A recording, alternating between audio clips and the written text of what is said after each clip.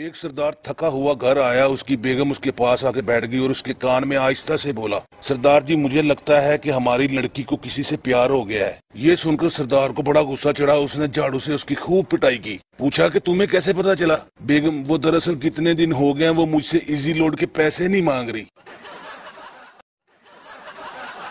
ایک لڑکی نجومی سے میرا ہاتھ کیا بتاتا ہے؟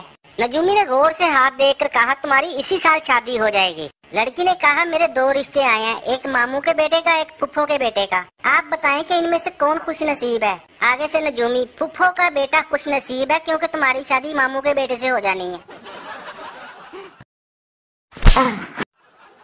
ایک دن ایک جن نے دیکھا کہ ایک سردار بہت شراب پیتا ہے۔ اس کا بھی دل کیا کہ میں بھی شراب پیوں۔ اس نے سردار کے دوست کا روپ دھارا اور اس کے پاس آ کے بیٹھ گیا۔ اور بیس پچیس گلاس شراب کے پی گیا۔ یہ دیکھ کر سردار نے کہا، یار، تمہیں چڑھتی نہیں۔ آگے سے جن نے کہا، میں جن ہوں جن۔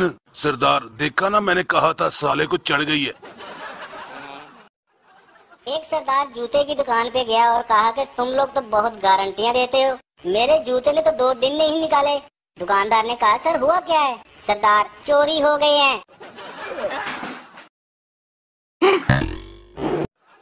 ایک عورت اپنے وکیل کے پاس گئی اور کہا کہ میں اپنے سابقہ شوہر سے صلح کرنا چاہتی ہوں۔ وکیل نے کہا، پاگل ہو گئی ہیں، پندرہ دن پہلے تو میں نے آپ کی طلاق کروائی ہے اور تم جتنے مرضی پیسے لے لو، بس میری صلح کروا دو۔ وکیل نے کہا، آخر بات کیا ہے؟ عورت، بات یہ ہے کہ جب سے وہ مجھ سے علیحدہ ہوا ہے، وہ تو خوشی بہت ہے۔ ایک آدمی نے بے سرا گانا شروع کیا تو اس کی بیوی نے کہا کہ گانا تو میرے ابا گاتے ہیں جب گاتے ہیں تو پرندے بھی گر پڑتے ہیں۔ آگے سے شوہر ضرور تمہارے ابا منہ میں کارتوس بھر کے گاتے ہوں گے۔